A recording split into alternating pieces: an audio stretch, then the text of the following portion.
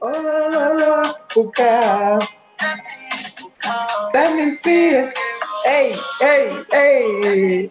Hey, hello, friends. It is Anna Mbengam here, your favorite Scrum Master. And if I'm not your favorite Scrum Master yet, don't worry about it because I will become your favorite. Okay.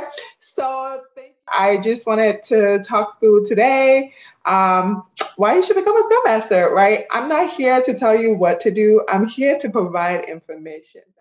Let's look through into why this position is really uh, favorable to have.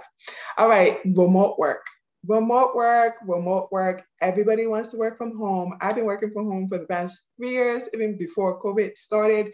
Now, listen, you can work remote or you also can do hybrid. Some companies right now are going back to the office. You can decide what is your preference. Is that something you want? Is that something you like? Then go for it. Okay. The only thing with that is that you would just need to make that decision for yourself. But I'm just saying that remote work is an option. You can work remote anywhere you want.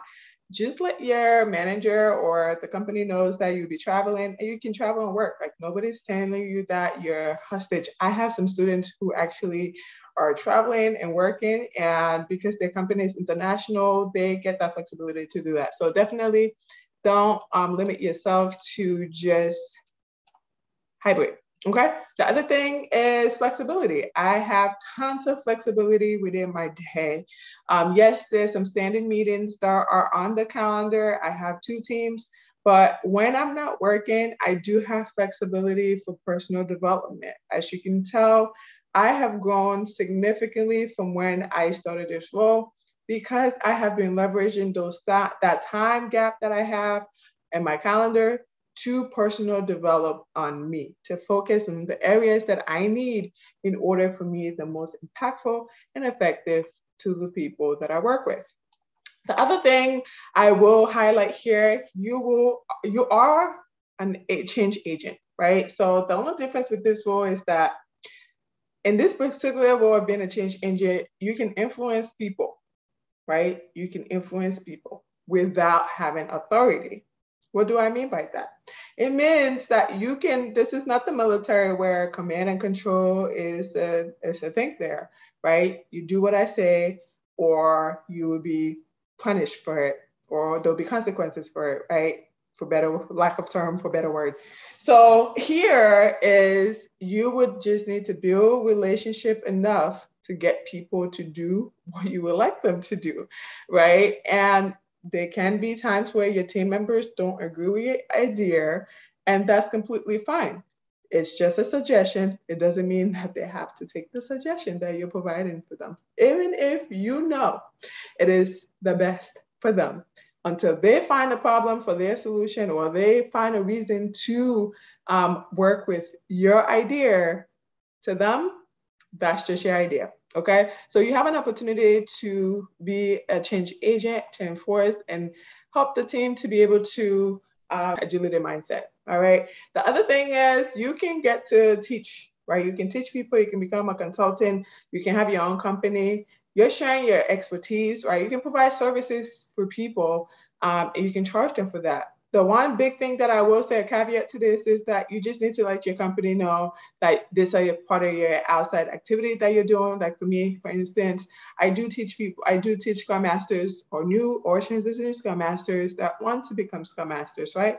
My company is well aware of that. It's not interfering with my work. I don't take anything booking on my calendar until after 5 p.m. Eastern time, just because I just appreciate that transparency. I don't want to bridge work and personal stuff. I give the time that I'm getting paid for and I focus on my time after work. Okay, so you just need to deviate to that. I think this is important. I think you can do it if that's something that you're interested in doing. Number five, I would say money, money, money, money. Money. Okay, who doesn't like money? I love money. I know you like money too. All right. So you have a chance to make six figures here. And this six figures also comes with your level of expertise and experience, of course. right?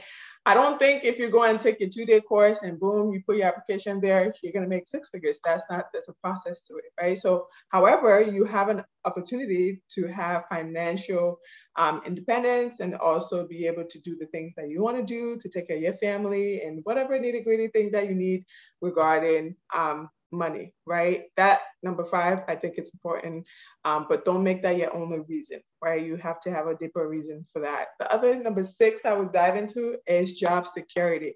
As long as you're going to need software developers, I personally believe that you're going to need Scrum Masters. Why? We're unique individuals. We have uniqueness that is incomparable. Like, yes, I know sometimes some of the things that we do are, are intangible to we cannot always show, oh, we're keeping retention in the company. Oh, we're we're making this impact, right?